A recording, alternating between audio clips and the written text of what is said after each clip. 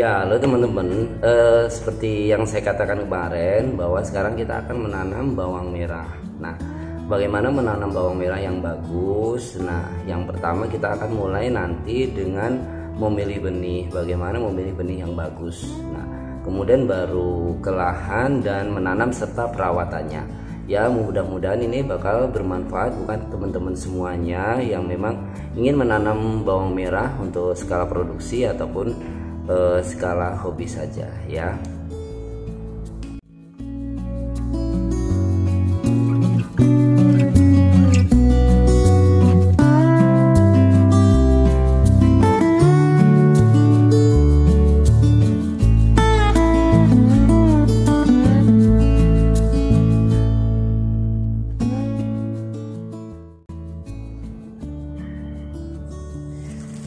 Ya, ini bawang merah yang kemarin uh, sudah kita potongin ya.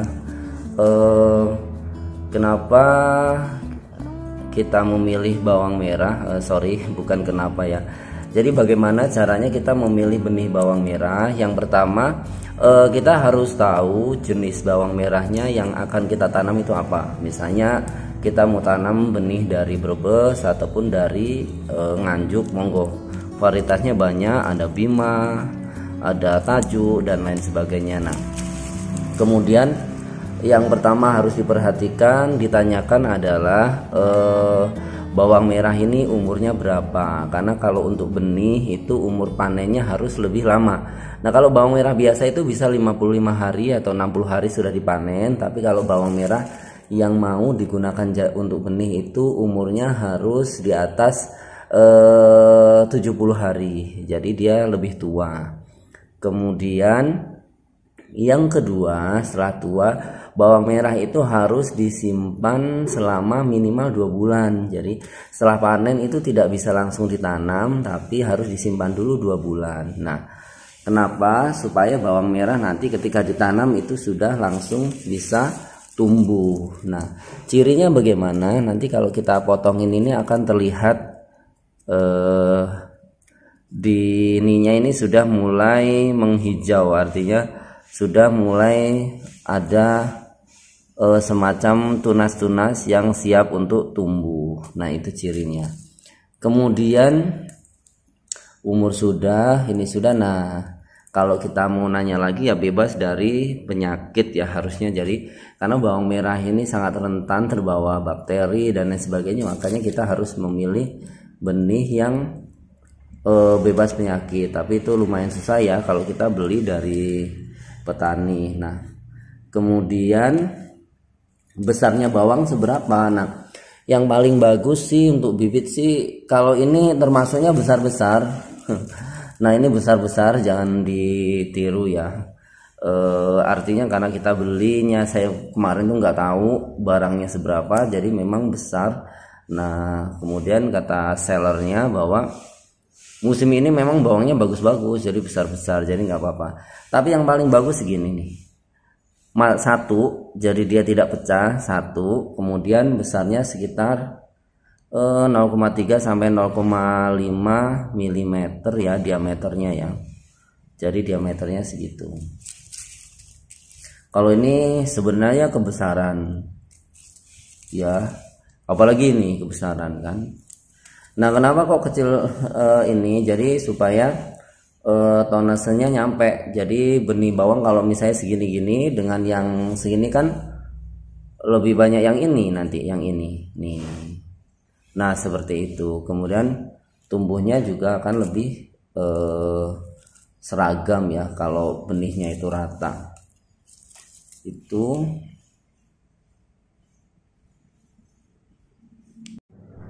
Nah, kemudian setelah tahu kita e, memilih benih yang bagus, e, selanjutnya untuk persiapan tanam kita harus potong e, bawang merah itu sepertiga bagian di ujungnya. Hal ini bertujuan untuk apa? Agar bawang merah itu terangsang untuk tumbuh dan tumbuhnya itu seragam. Ya.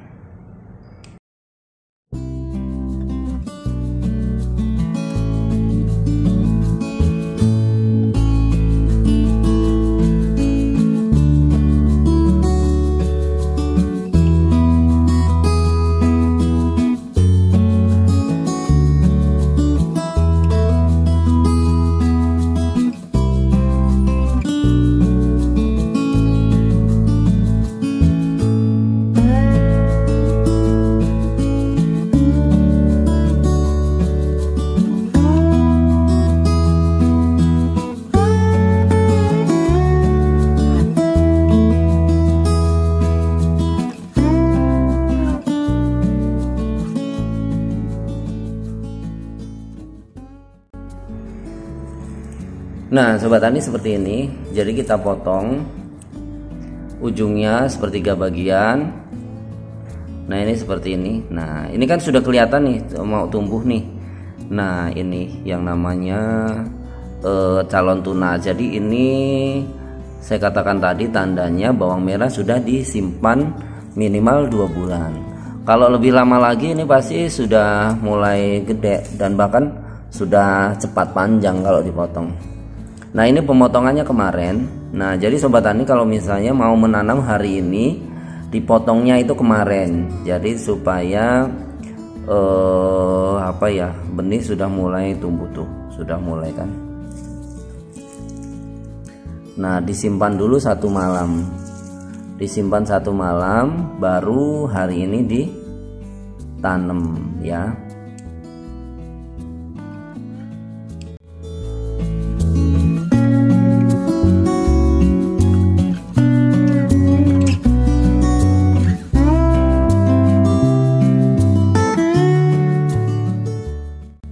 Nah kemudian seberapa motongnya? Motongnya itu sepertiga ujung ya. Nah ini yang pas nih. Sepertiga ujung. E, Jadi disisakan dua per 3 Nah kalau yang ini Yang ini terlalu ya Terlalu ke bawahan. Nah ini lumayan ini juga kalau yang seperti ini. Kemudian ada lagi kalau yang ini terlalu di ujung Jadi kurang. Nah jadi kita lihat ini yang terlalu ke bawah. Sorry kita lihat di sini. Nah ini yang pas. Nah, kan pas. Kemudian ini yang terlalu di ujung. Oke. Nah ini yang oh sorry ini yang terlalu pangkal kebanyakan setengah dia. Nah ini yang terlalu di ujung. Nah jadi itu ya motongnya yang ini ya. Nah ini. Ini yang pas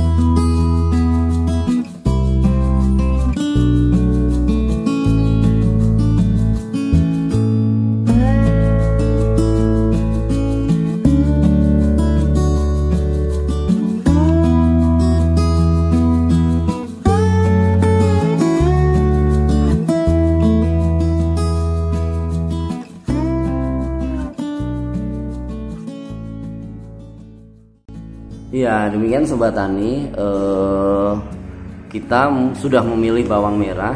Mudah bukan memilihnya. Nah nanti sobat tani bisa praktekkan langsung di eh, rumah.